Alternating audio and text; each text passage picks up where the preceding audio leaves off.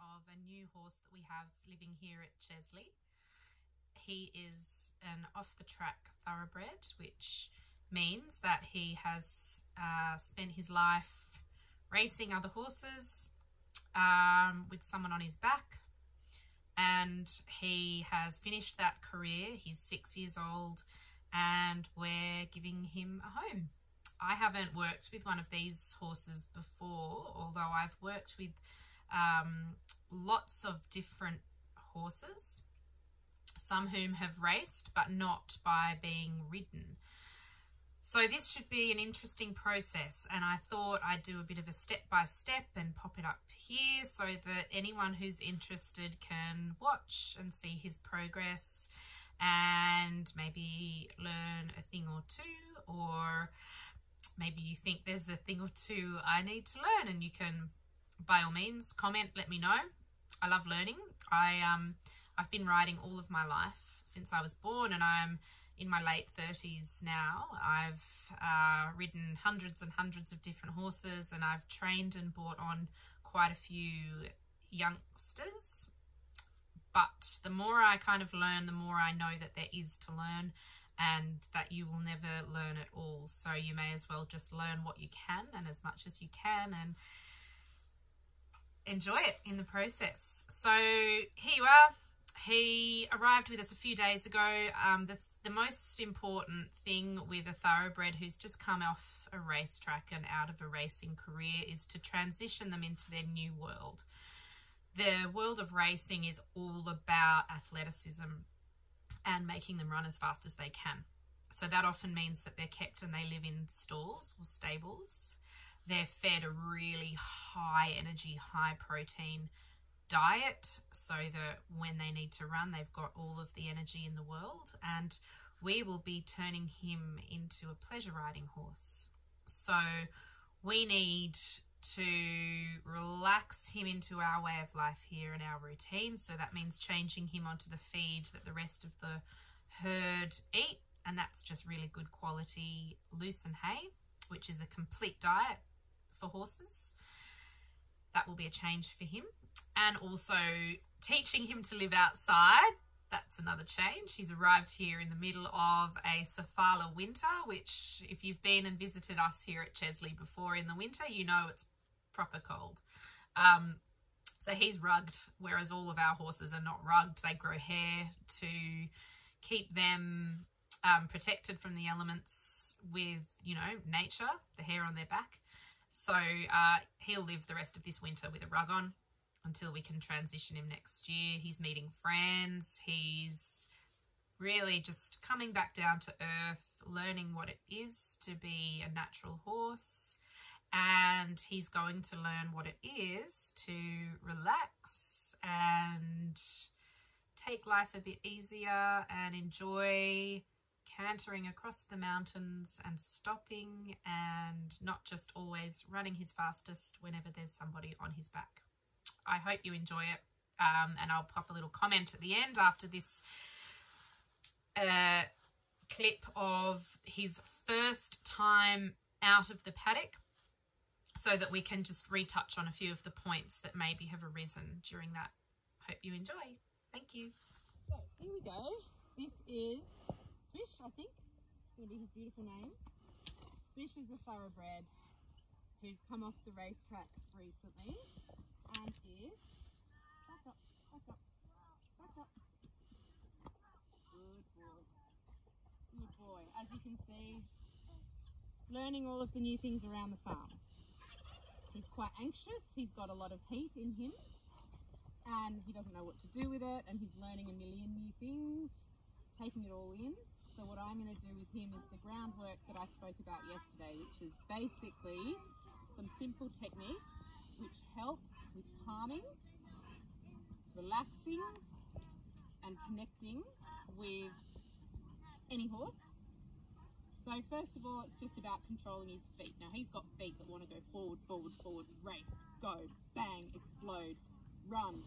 That's the way they're bred, that's the way they're taught. And so we're going to start to unteach that and reteach some control. So I don't want him walking up and over me. I'm going to be teaching him that we need to come with me, sweetheart. teaching him that we need to keep a respectful space. So I'm going to ask him, I'm going to look at his feet and I'm going to ask him to go back. Good. And then I'm going to stop. I don't want him to come forward. That's unrequested. I didn't ask for that. He's going to go back. Okay. Good boy. Tell him he's a good boy. Good boy. No, uh. There we go. Tell him he's a good boy. He's not going to die. It's okay. He thinks he's going to die. He's like, oh my god, the turkeys that he's just meeting for the first time, the new sounds, the new animals are going to attack him and that's it, life over. So I'm trying to teach him that actually he can be relaxed and it's okay to be relaxed.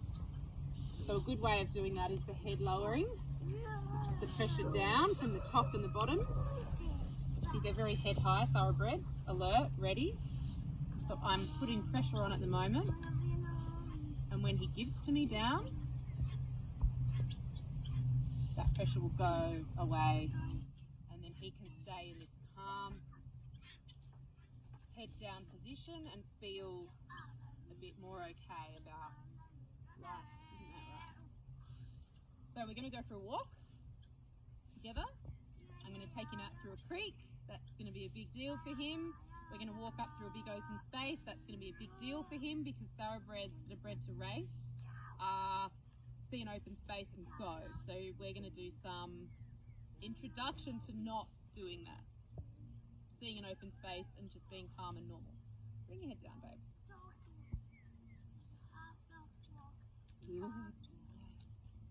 Chewing, he understands that.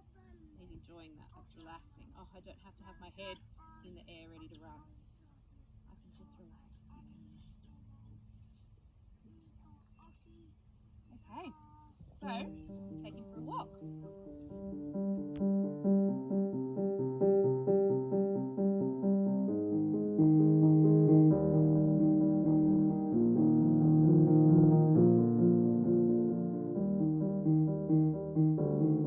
Any other world.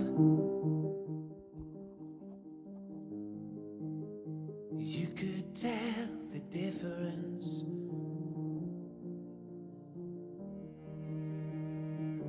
And let it all unfurl.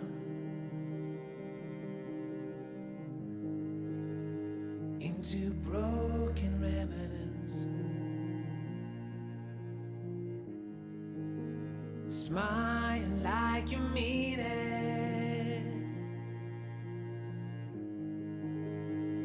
let yourself let go. Cause it's all in the hands of a bitter, bitter Say goodbye to the world you thought you lived in. Take a bow, play the part of a lonely, lonely heart. Say goodbye thought you lived in. To the world you thought you lived in.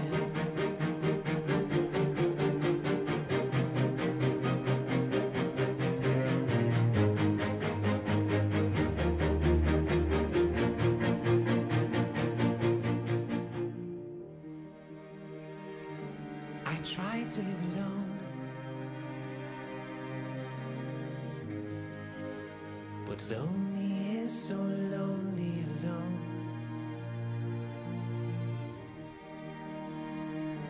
So human as I am, I had to give up my defenses.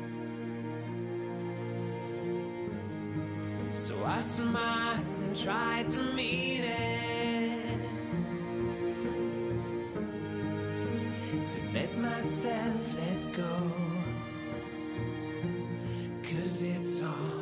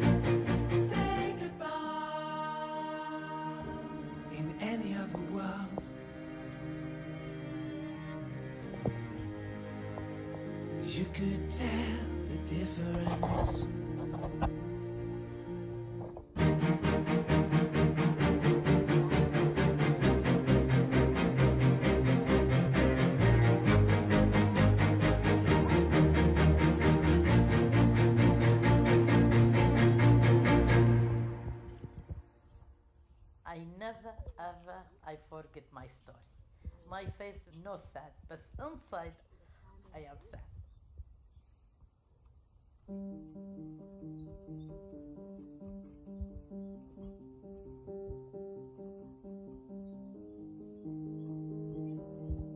Good boy. Does not come easily.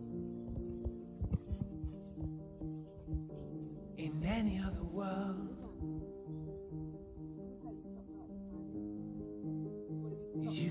tell the difference.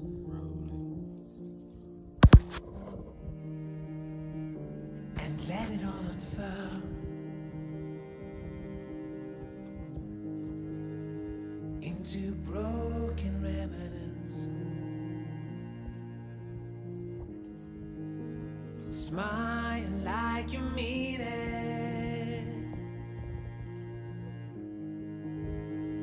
let yourself let go. Cause it's all in the here he may never have seen either of those two things before. I don't know. It's unlikely. So to show him that they can be in his focus, in his mind, but I can take his mind down here, like this, and make it slightly more okay, is good.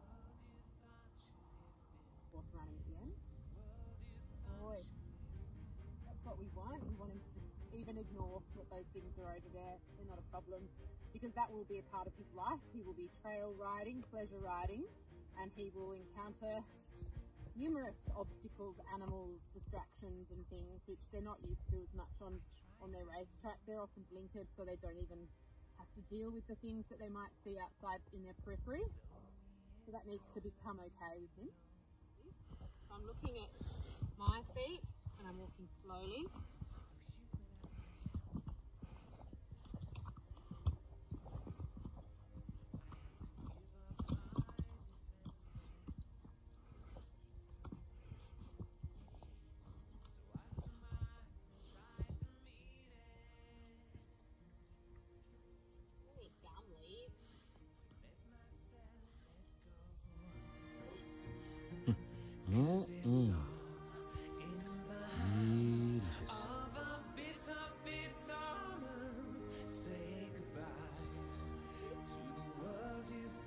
Probably never had this, never had this experience before.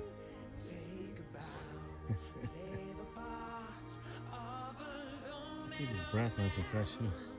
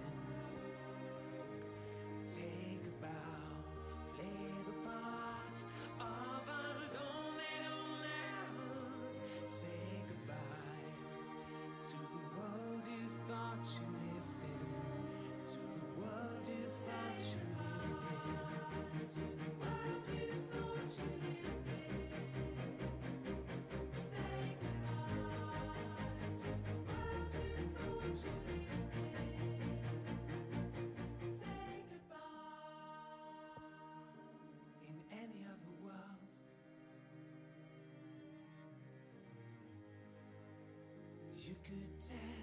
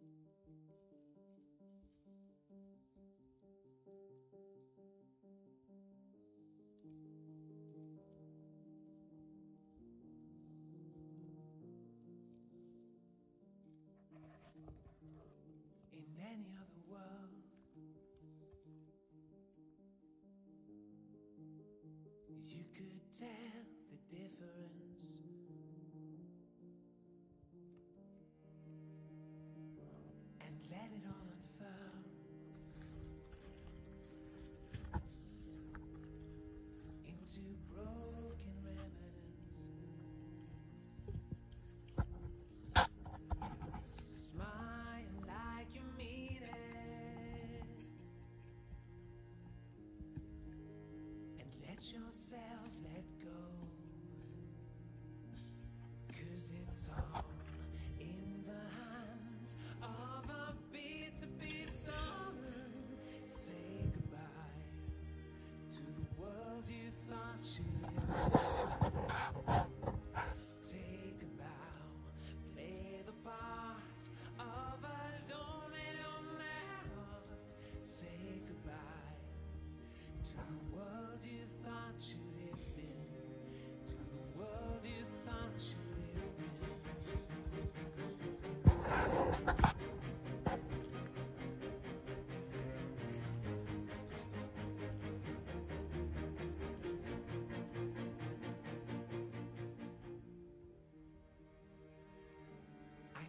to live alone. But lonely is so lonely alone. So human as I am, I had to give up my defenses. So I smiled and tried to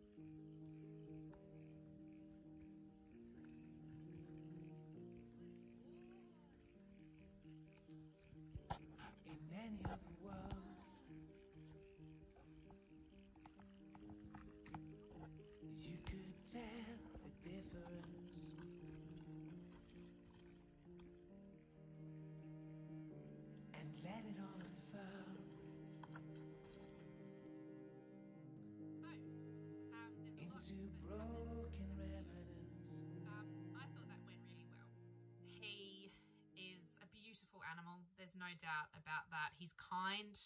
He has been taught a lot of things. He's been taught to go. He's been taught to anticipate going so that he's ready to go. So there's a lot that we're going to be trying to undo with him and unlearn. He's definitely, you can see from that, a horse that wants to please. He wants to get it right. Um, and I'm I'm confident that we're going to have a lovely journey together. I think from my experience of today, that's the first time I've kind of been with him outside of feeding him and just patting him in the paddock. I'd like to think that the next time I'm with him, I will be climbing into the saddle um, to maybe take him out for a similar sort of ride that's mainly walking based, navigating some obstacles, going between trees and turning around and thinking about where he is in nature, where he is in the space that he's in, and not just when do I go, when do I go. Um, it was good that he had a few mistakes in there. For example, he understood the concept of I stop when you stop and I stay out of your space. But his instinct and his prior teachings were overriding that quite a few times. So I had to back him up again, back him up again. I repeated that far more times than than what you saw there in the video. Almost the whole way around, I was continuously backing up, backing up. Um, so it's not bad that I had to keep doing that same thing. It's actually good because the more mistakes he makes, the more times I have to redo that. And that is always what we do. The more that that lesson then actually eventually sinks in. If the horse is super clever and they just pick it up straight away and that's it, if there's no challenge, then you kind of go, oh, is it really in there? And if he was put under duress or suddenly triggered by a memory, then would that lesson be as ingrained? So, repetition, repetition, mistakes, mistakes, all are good. And if you can think that way as well, then when you're doing it as the the human, the person on the ground, maybe it helps you to not um, become frustrated because that's an easy thing to happen when things don't seem to be going your way. If you get frustrated, then you produce an energy and vibes, and the horse undoubtedly would then pick up on those energies and those vibes and transfer maybe into nervous energy, particularly with a horse like this who's prone to that. Um, so if you're thinking, and I repeat, and I repeat, we do it again. He made a mistake. That's good. Now I get to teach him that again. Then you can make it a positive thing in your own brain and then feel and be relaxed with that process and with the fact that that might be the only thing you do in that day. So I'll continue to repeat that with him, even when I catch him from down in his paddock to bring him up to the area where I will put his saddle in.